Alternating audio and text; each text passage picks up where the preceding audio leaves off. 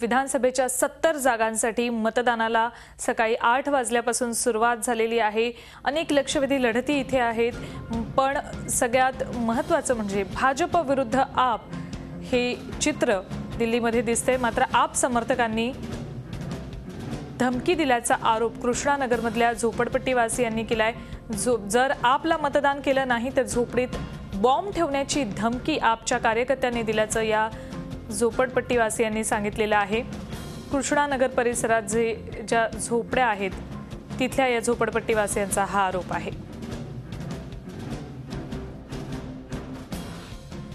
ये कल जो हादसा हुआ है कल वाले लगा को इस लगा को तीन बार ये आम आम पार्टी वाले ने किया है। ठीक है ना? तीन बार कर तीन बार कर चुका है ये हादसा। जितना है सब उनके सब जितना है गुंडेगर्दी आदमी है। आप पार्टी को वोट नहीं दिया तो हम यहाँ झुग्गी झोंपड़ियों में बम गिराएँगे। ऐसा लोगों को कहा गया। तो हाँ, ये बात- ये बात जो है लोगों को कही गई है।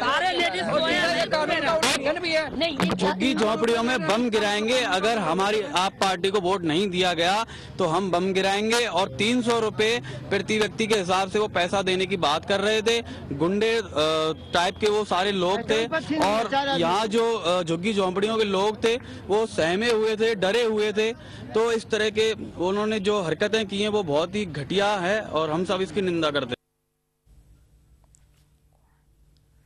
कृष्णानगर आप पर आरोप केलाय जर आपला मतदान केलं नाही तर झोपडपट्टीमध्ये बॉम्ब टा ठेवण्याची धमकी सुद्धा दिली. आपल्यासोबत आमचे प्रतिनिधी रामराजे शिंदे आहेत त्यांच्याकडून अपडेट्स घेऊयात. राम या प्रतिक्रिया आपण ऐकल्या आहेत. जर आपला मतदान केलं नाही तर झोपडपट्टीमध्ये बॉम्ब ठेवण्याची धमकी दिली. त्याशिवाय प्रतिमाणशी प्रति माणशी तीनशे रुपयांची लालूच सुद्धा या लोकांना दाखवण्यात आली आहे. काय अपडेट्स आहेत या संदर्भातले इतर? महत्त्वपूर्ण लढत आहे ते कृष्णनगर या परिसरामधून भाजपकडून किरण बेदी या निवडणूक लढवत आहेत. तर एस के बग्गा जे आहेत ते अपक्षकडून निवडणूक लढवत आहेत. या संपूर्ण परिसरामध्ये पूर्ण ताकद लावलेली आहे. अरविंद केजरीवाल यांनी सुद्धा आणि शेवटच्या आदल्या दिवशी सुद्धा गुलपन्ना सारख्या अभिनेत्रीला उतरवून मोठी रॅली काढण्यात आली होती. महिलांची रॅली काढण्यात आली होती.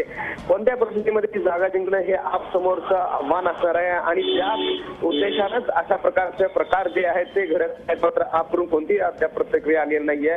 इथल्या रहिवासीने सांगितलेलं आहे झोपडपट्टी वासियाने सांगितलेलं आहे धमक्या देण्यात आलेल्या आहेत. त्याचबरोबर आमिष सुद्धा दाखवण्यात आलेला आहे. पर हेड तीनशे रुपये देण्याचं आमिष दाखवण्यात आलेलं आहे. त्याचबरोबर तुमची घरं आम्ही तयार करून देऊ असं सुद्धा आश्वासन दिलं दिलेलं आहे.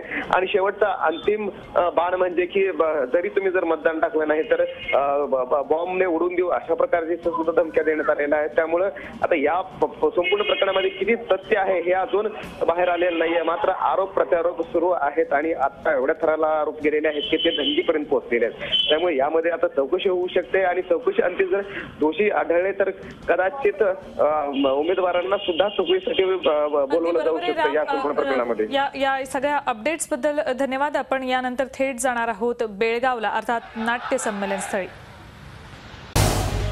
झी चोवीस तास. रहा एक पाऊल पुढे.